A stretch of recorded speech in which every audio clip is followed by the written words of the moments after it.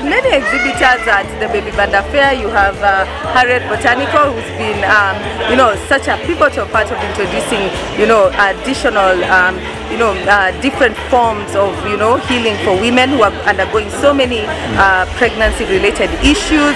Uh, who has been a great partner, of course, in this journey. I mean, there's so many issues that women undergo from endometriosis to polycystic ovarian syndrome to infertility. Um, and Harriet Botanical has been a very good support in the journey of just supporting some of these, uh, some of these, uh, um, you know, situations that mothers tend to face.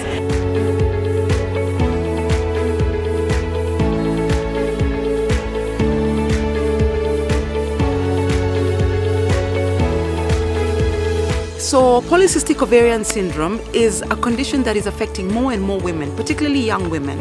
And it is actually a very interesting, like new lifestyle related condition affecting a lot of African women where they experience infertility in their early 20s, uh, weight gain, unexplained weight gain, facial hair, male pattern baldness.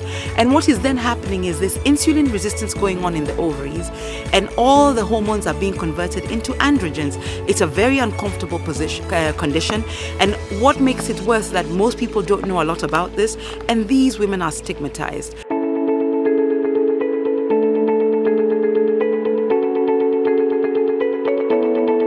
I would say at Harriet's Botanicals, at least 60% of our clients struggle with this PCOS condition. And we're happy to report that we've been 90% successful simply by reversing the lifestyle related condition, where we help clients to manage insulin. We talk about diet and intervention all the time, a low carb diet, and just keeping an eye on how much sugar you are taking and what you are eating on a daily basis. At the same time, helping them to reverse the hormonal caused caused by the condition by giving them arrowroot. So we have like a multi a multi multi-pronged approach where we will give you the traditional medicine itself.